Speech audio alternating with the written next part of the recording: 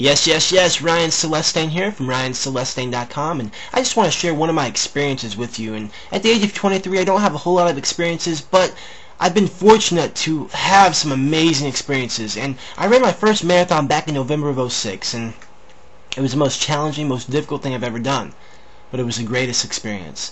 And race day came along, and it was awesome because my dad, he was running the same race, and this was the first time that we actually ran a, a, a large race together. And we didn't stay together, but it was just awesome to know that we were together in spirit on the course and things like that. It, it was pretty cool. And you know, mile three comes around, I'm feeling great. You know, it's still a little cold. I'm still, I'm not really warmed up yet.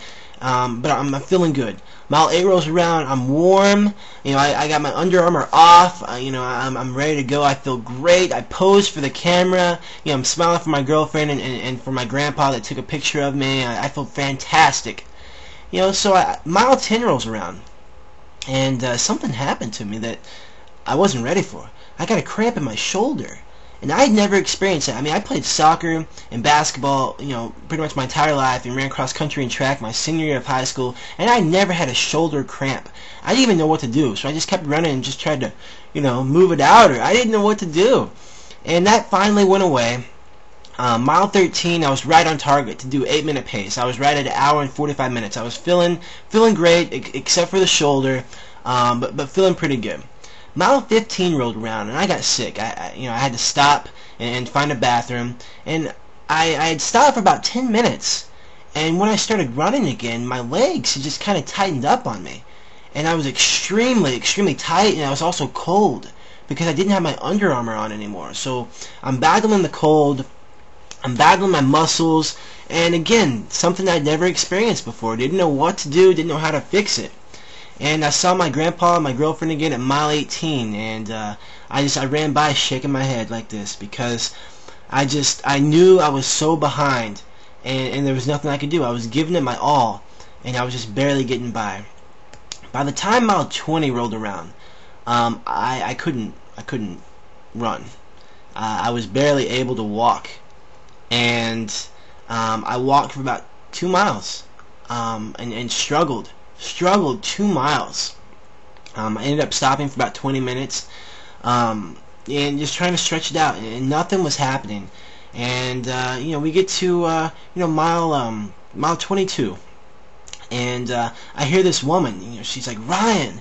I'm like, huh? Who's that? And it was a woman I, I went to church with, and she's like, Ryan, are you already done? I'm like, no. You know, like I I'm not even close. You know, I mean, four miles left. That's that's close, but she's like, "What? I figured you'd be done by now." And she's like, "Well, you know, let's let's run together." And and she encouraged me and inspired me to run. And I had been trying those two miles. I didn't walk because I was tired. I walked because I could not move my legs. I mean, I even started walking in the grass because the concrete was hurting my knees and my shins and my feet so bad. I, I was walking on the grass, and she was like, "You know, Ryan, if if we run or at least jog, we'll get there faster." I'm like, "Okay." You know, so me and, and this woman from church and one of her friends, you know, we all just started running together. And she encouraged me and inspired me just to keep going and not give up. And I hadn't given up yet. But I, I was sad. I was down. And the, the two miles that I walked was the hardest two miles of the entire marathon because I could not run. I tried. I tried so hard to run and I couldn't. It, it hurt it, every part of my body ached and it hurt to run and to walk. And I just remember picturing myself crossing the finish line walking. And I was so sad and so discouraged. And I was just thinking, wow, Ryan, what have you got yourself into? You know, this is the worst idea you've ever had to do a marathon. I'm never going to do one of these again. And it was just because I was struggling so bad. And you know, when she came by and helped me out, when when she when she encouraged me and inspired me just to to try it again, to get out there and, and keep running and try it again, I started running and jogging, and and my legs they started loosening up, and I started feeling good. And she had to stop and stretch, and I knew if I stopped that I wasn't going to keep going. So I just I kept going, and and, she, with her help and her encouragement, I kept going. My last mile was back at 9 minute mile pace. And so I was starting to get back the momentum in that drive. And all I needed was just someone to give me a little encouragement and a little inspiration. And when I crossed the finish line, it was the greatest feeling ever. I mean, it felt so good to cross the finish line, such a feeling of accomplishment and joy and just pure emotion. My family was there, and they were proud of me, and it, it was an awesome feeling. And you know, my time was uh, was was four hours and thirty minutes, and my my time I was shooting for was three and a half. And for my first marathon, you know, I wasn't disappointed at all. I was excited because I never gave up. I got in there, I kept fighting, I gave it my all, and never quit. And still looking back, you know, to this day, looking back at the marathon, there was nothing I really could have changed.